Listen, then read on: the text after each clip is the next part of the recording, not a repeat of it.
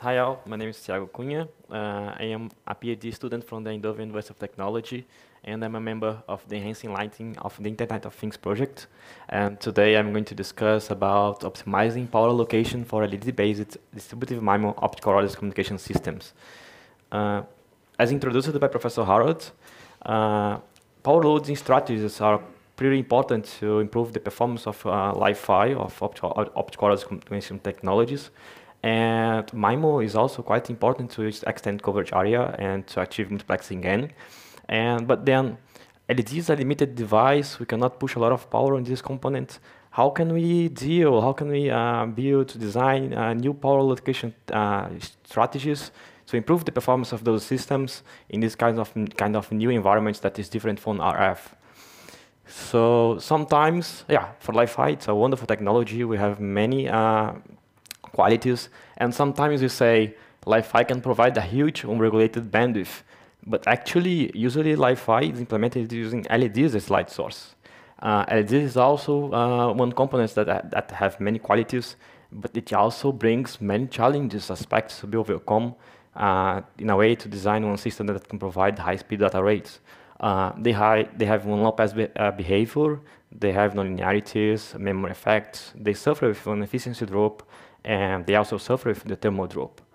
So we may think about, ah, if we push uh, current, uh, current density uh, to the LED, if we increase the current density, we can extend the bandwidth of the LED. And then the low-pass effect can be not a problem anymore for high data rates. But also, if we push the current density to the LED, the efficiency at which current modulation translates into uh, photon, uh, photons uh, decreases as well. And when we talk about with Li-Fi, coverage area is also important. So if we sum buff effects, uh, we are going to see that like the throughput uh, increases and decrease uh, by the amount of energy that you push to the LED. So there is a, a clear optimal point at which we, we uh, if we want to design one system that can provide high data rates, uh, yeah, the power, the power is uh, it's something important to think about. also, there is a thermal drop uh, the performance of the system drops if the LED gets warm. So if you push a lot of power in the component, the performance drops. So it's power constrained. When we talk about Li-Fi and optical communications, one strong point is that light cannot go through the wall. But it brings security for the physical layer. But it also, it also means that if you block the line of sight link between the transmitter and the receiver, the connection is gone. So MIMO uh, with multiple transmitters in the ceiling can bring a solution to this physical layer in a way that multiple signals are transmitted at the same time. And if you block one of the line of sight links, we still have others to, to use. Uh, MIMO also brings the multiplexing gain and many other qualities. But how uh, can we do the power locations at the same time of all those uh, LEDs working uh, to improve performance? Uh, we have many differences between RF and optical wireless. But uh, I, would, I would like to bring you to the main point that RF is more, uh, the multipath, the reflections inside the environment is more important. So if we space the antennas by half a wavelength, the channel may be independent. But in optical wireless, uh, that's different. The line of sight channel is more important. The, uh, most of the energy of the channel, of the link, is in the line of sight link.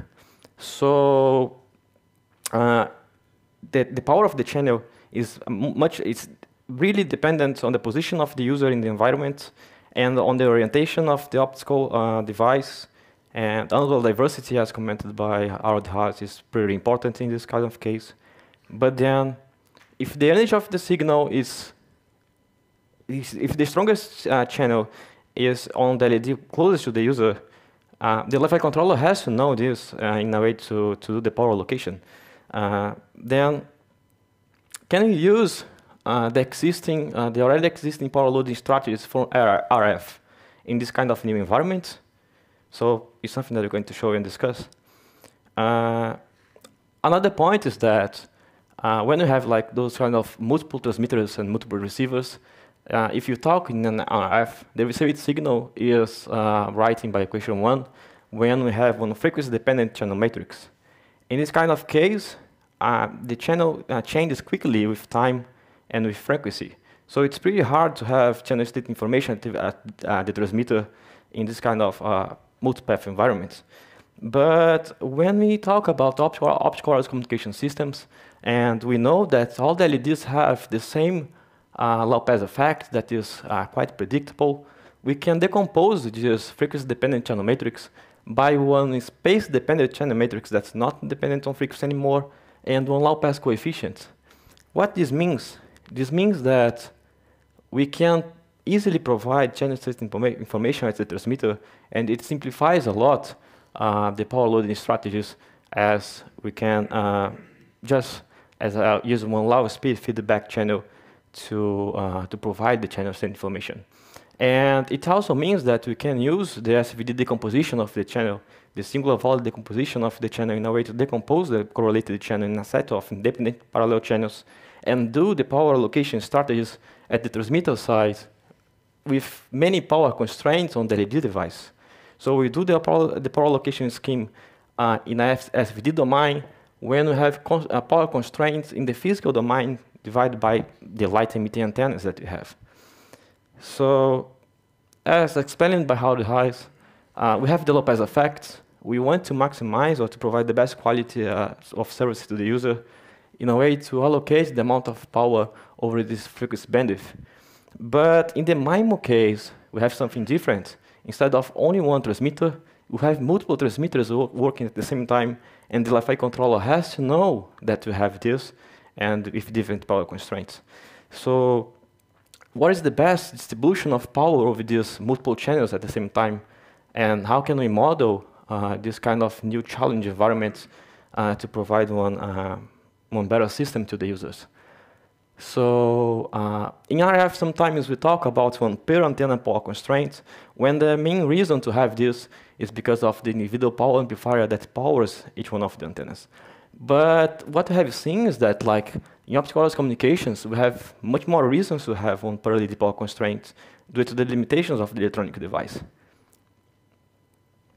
Uh, about the power loading strategies that we may have, we may consider that like in RF, when we don't have channel state information, we can uniform, uniformly spread power over, this, over the space channels and over the subcarriers in a way uh, to, to achieve uh, performance. But due to the low pass effect of the LEDs, is that uh, approach also useful to us or not?